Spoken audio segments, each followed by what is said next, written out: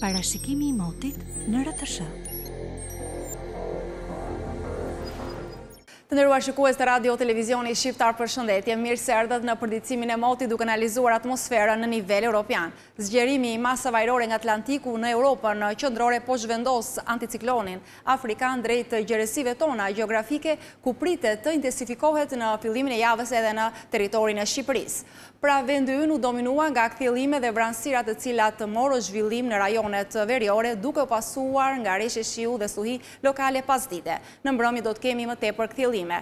Temperaturat pësuan rënie të lehta në mesditë, në zonat malore shtatëmbëdhjetë tridhjetë e dy gradë, zona e ulët tetëmbëdhjetë tridhjetë e pesë gradë, në bregdet njëzet e një maksimumi, tridhjetë e tre gradë celsius. Ndërsa Kosova vijon të jetë me mot të paqëndrueshëm me vranësira të pasuara nga reshe lokale edhe stuhi, temperaturat do të jenë me rritje, gjashtëmbëdhjetë, shtatëmbëdhjetë gradë në mëngjes, gjatë ditës njëzet e nëntë maksimumi, tridhjetë e një gradë. Për njëzet e katër orët e ardhshme, në vendin tonë moti do të jetë me diell në zonën perëndimore dhe bregdet, ndërsa zona veriore do të jetë me prani të vranësirave dhe reshe lokale përreth maleve, Temperaturat do të jenë me rritje graduale. Si do të jetë moti në rajon dhe Europë ndjekim grafikat. Bashkë ndajemi këtu duke ju lënë në shoqërinë të programit në vijim.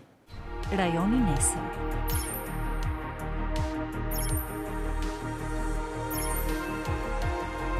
Europa nesër.